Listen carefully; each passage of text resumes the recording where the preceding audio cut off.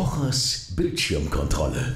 Selbstverständlich. Äh, damit bin ich ja in den letzten äh, Wochen äh, bekannt geworden, dass ich bei Instagram den ein oder anderen Influencer äh, mal liebevoll auf sein Fehlverhalten ähm, ähm, angesprochen habe. Ja. Und das machen wir hier natürlich auch. Und es gab von einer Influencerin so ein bisschen Kritik äh, daran, dass ich dieses Blut verlost habe.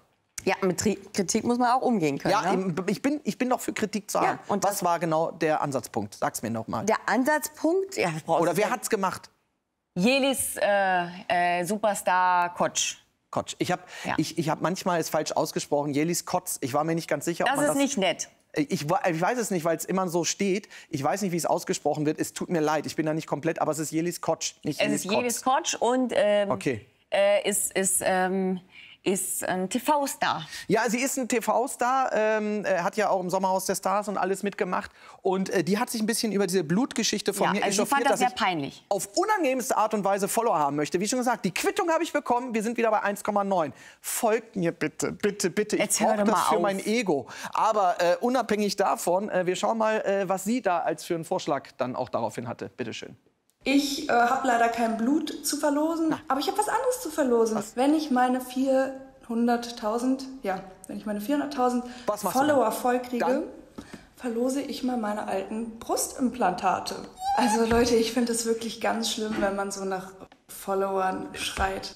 Ja, das, ist, das muss man wirklich sagen. Aber wenn man seine alten Titten verlost, dann ist das dann in Ordnung, muss Du, man du sagen. kannst ja auch mitmachen. Wir können sie als Kopfkissen oder, oder als Kühlpads verwenden. Also wäre doch auch mal nett, Als sowas zu. Hause zu haben. Also Für Langeweile, man hat was zu spielen. Es gibt so viele gute Möglichkeiten, Aber- die man da machen kann. du musst jetzt auch, es wird, jetzt, es wird jetzt nicht jeder da draußen sofort wissen, wer das ist. Willst du denn uns nicht mal erklären, wer Jelis überhaupt ist? Selbstverständlich. Wir haben natürlich im Archiv zusammengekramt und äh, falls Sie jetzt mal wissen wollen, wer eigentlich diese junge Dame ist, bitteschön, hier ist ihr gesamtes Werk.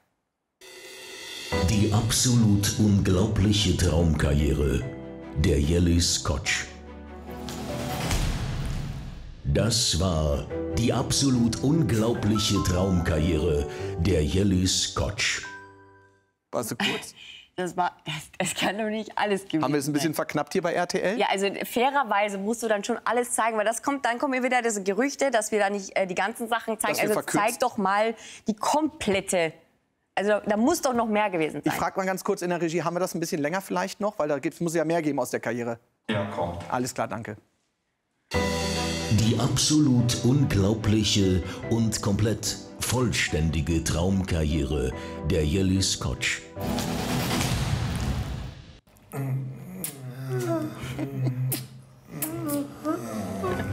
Das war die absolut unglaubliche und komplett vollständige Traumkarriere der Jelly Scotch. Jetzt wird ein Schuh raus, jetzt haben wir das Gesamtwerk. Muss man an dieser Stelle mal ehrlich sagen.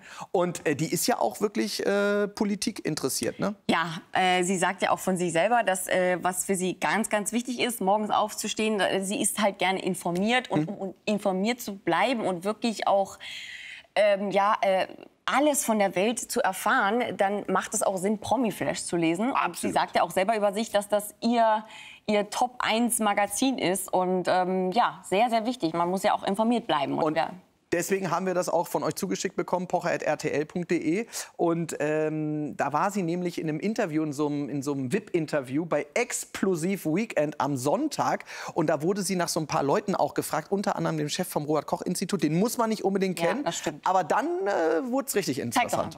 Bitte. Ja, das ist doch hier der, ähm, ja Leute, das ist jetzt echt peinlich. Ist es nicht dieser Spahn? Spahn? Nein, das ist der Spahn. Oh, das ist er aber. Richtig. Das ist ja der, der immer äh, hier in den Nachrichten ist. Warum? Der ähm, unterhält sich immer mit der Angela Merkel und erzählt uns die neuesten News des Tages. äh, weißt du, was uns das sagt? Das ist der Nachrichtensprecher von Angela Merkel. Der macht immer die neuesten News. Ja, ich wusste es. Er war Nachrichtensprecher. Ja. Er kam mir auch sehr, sehr bekannt vor. Aber ich hätte so einen kleinen Tipp, vielleicht auch mal die, die Zeitschriften lesen und nicht nur die Bilder gucken. Naja, aber äh, das ist der Newsminister. Dafür steht er ja. Ja, du. Newsminister Jens Spahn. Ja, auch Punkt 12 macht er auch manchmal. Ich, ich habe den schon öfter überall. gesehen. Überall, super Typ. Und äh, Jellis ist natürlich auch bekannt durch ihr Liebesleben. Ja. Ähm, sie ist mit äh, Johannes Haller, äh, die waren auch unter anderem im Sommerhaus der Stars, war sie on, off, on, off, on, off, on, off, on, off. Und ich habe den ja auch bei mir schon äh, so ein bisschen hochgenommen, weil er ist ja äh, zum Corona-Lockdown durch vier Länder gefahren, von Deutschland nach Ibiza, um Achtung, was kann man in Ibiza am besten machen? Ein Bootsverleih zu eröffnen, weil das ist absolut die Power-Idee. Jetzt, wo die ganzen Touristen demnächst in zwei Monaten wieder hinreisen dürfen, hat man die Boote schon mal fertig. Und jetzt sind sie leider, sie war hinten mit im Kofferraum dabei, äh, dann waren sie kurz wieder zusammen, jetzt ist auseinander. Und wir möchten fairerweise auch äh, Johannes Haller noch mal zu Wort kommen lassen zur Beziehung mit Jelis Kotsch. Bitte, Johannes.